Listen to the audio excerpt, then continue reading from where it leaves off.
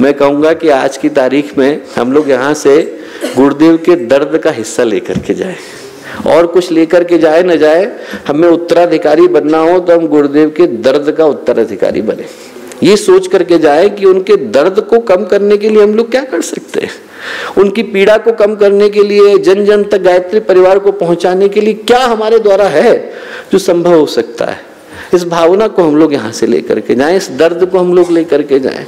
लोगों को बताएँ दोस्तों कि हमारे गुरुदेव कौन थे? कौन थे हमारे गुरुदेव? हमारे गुरुदेव वो थे जो अलौकिक चिंतक थे, महाकाल के अंशधर थे। गायत्री और यज्ञ को घर घर पहुँचाने वाले थे। जिस समय में लोग ये जानते नहीं थे, आप सोच करके देखिए आयरलैंड की राष्ट्रपति। चौदह साल तक राष्ट्रपति रही, नोबल पीस प्राइज मिला। उसके बावजूद उनको आयरलैंड में बिशप नहीं बनने दिया गया। 2014 की घटना है, क्योंकि महिलाएँ अलाउड नहीं है।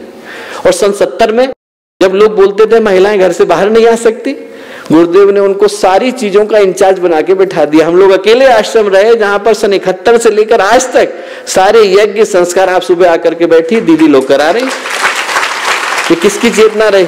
गुरुदेव की चेतना रही, हमें अपने बच्चों को बताने की आवश्यकता है। हमें अपने बच्चों को नए जुड़ने वाले कार्यकर्ताओं को ये बताने की आवश्यकता है कि गायत्री परिवार गुरुदेव ने मात्र यज्ञ और संस्कार के लिए नहीं बनाया। इससे बड़ा प्रगतिशील संगठन आज तक खड़ा नहीं हुआ है। जहाँ पर आप जाकर के देखिए, आप देव संस्कृति विश्वविद्यालय में भ्रमण करके देखिए, हर चीज़ रिसाइकिल हो रही है। आज लोग बात कर रहे हैं, हम लोगों को करे हुए बारह वर्ष हो गए। जहाँ पर पूरा का पूरा कैंपस जो है, वो ज़ीरो कार्बन फुटप्रिंट है। हर जितना कूड़ा है, वो रिसाइकिल हो जाता है। यहाँ पर जितना महिलाओं को अधिकार है, उतना कहीं नहीं है। ये सारी चीज़ें हमें लोगों को बताने की आवश्यकता है कि गुरुदेव वो करके गए जो अनेकों के द्वारा सपने में भी कर पाना संभव नहीं था। आज इसी दर्द को, इसी पीड़ा को लोगों तक पहुँचाने की आवश्यकता है। हम लोग छोटे छोटे थे आठ आठ साल के बच्चे शांतिकुंज में घूमते रहते थे। एक दिन गुरुदेव ने बुलाया कि तुम लोगों की मीटिंग लेंगे छोटे बच्चों पे ध्यान किसका जाता है? पर सोचिए, इतनी बड़ी शक्ति बुलाया। और क्या कहा हम लोगों से? हम लोगों से कहा कि बेटा, तुम लोगों को रोज चिट्ठी लिखनी है। चिट्ठी लिखने में क्या होता था? आठ साल के बच्चे की कैसी हैंड राइटिंग होगी, आप जानते हो। तो पत्र तो कहीं नहीं जाता था। पर उसका लाभ क्या होता था? आठ आठ साल के बच्चे जब चिट्ठी लिखने के लिए बैठते थे रद्दी कागज़ पर तो आपकी भाषा में प्रांजलता आती है। जब आप लिखने के लिए बैठते हैं तो आपको समझ विकसित होती है, किसी ने लिखा क्या है, आपको बोलना क्या है, और आपको किन तरह के शब्दों का चयन करना है। इतनी दूरदृष्टि के साथ गुरुदेव ने व्यवस्था बनाई कि बेटा, जितने लोग हैं, तुम उनको चिट्ठी लिखो। बैठ के अब हमारी समझ में कुछ नहीं आ रहा, हम लिखने में लगे। पर गुरुदेव क्या करते थे? शाम को उन सारी चिट्ठियों को फड़वा देते थे, बदले में एक चिट्ठी लिखने का दो पैसा देते थे। तो आपने तीन चिट्ठी लिखी तो आपको छह पैसे मिलेंगे छह पैसे की उस समय में पार्ले जी की वो एक संतरे वाली टॉफी आती थी, आप जाके खरीद लो। बच्चे खुश होते थे कि देखो हमें हमारी कमाई का मिला तो एक इतनी बड़ी दूरदर्शिता के साथ गुरुदेव ने किया। सबसे कहा कि बेटा तुम बैठ करके चिट्ठी लिखो। दूसरा गुरुदेव ने हमसे क्या कहा? गुरुदेव ने कहा, बेटा, तुम लोगों का काम क्या है? बच्चे तो दौड़ते रहते हैं इधर से उधर. उन्होंने कहा, तुम लोगों को खेलने का मन है? बोले हाँ। तुम लोगों को क्या करना है? उस वाले गेट से इस वाले गेट, इस वाले गेट से उस वाले गेट। इसका क्या मतलब? बोले, इसका मतलब ये है कि जैसे उस गेट पर खड़े रहो, कोई नया व्यक्ति आए उसको पकड़ लो और उसको पूरा शांति में घुमा करके इधर ले आओ। फिर उसके बाद कोई इधर आए तो इधर से पकड़ लो, घुमा करके उधर ले जाओ। अब इसमें क्या है? बच्चों की ऊर्जा भी लग गई और साथ ही साथ हर बच्चे को ये बताने का भाव आ गया कि देखो शांति कुंज है क्या? आपके अंदर क्या भाव विकसित हुआ? आपको ये लगा कि देखो शांति कुंज है क्या? हम हर एक को बता रहे हैं शांति कुंज का उद्देश्य क्या है? लक्ष्य क्या है? मनुष्य में दिवत्व का उदय क्या है? वही राष्ट्र जागरण पुरोहिता क्या है?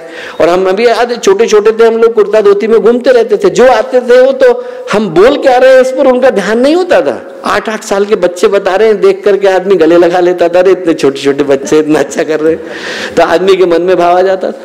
तीसरा गुरुदेव ने क्या कहा? गुरुदेव ने कहा, बेटा, पूरे शांति में बिल्डिंगें बन रही हैं। कभी प्रज्ञा भवन बन रहा है, कभी लक्ष्मी भवन बन रहा है, कभी सावित्री भवन बन रहा है। सब बने। गायत्री नगर लगभग हम लोगों की आँखों के सामने ही बना।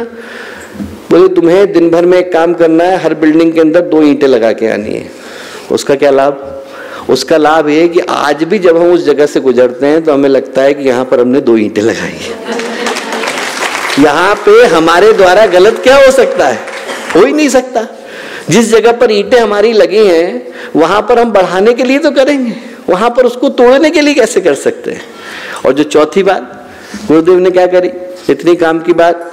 उन्होंने कहा, बेटा, तुम लोग शांति कुंज में घूमना, कोई भी ऑफ़िस खाली दिखे तो वहाँ जाके कुर्सी पे बैठ जाना। उस दिन के इंचार्ज तुम लोग। कोई ऑफ़िस खाली रह नहीं सकता।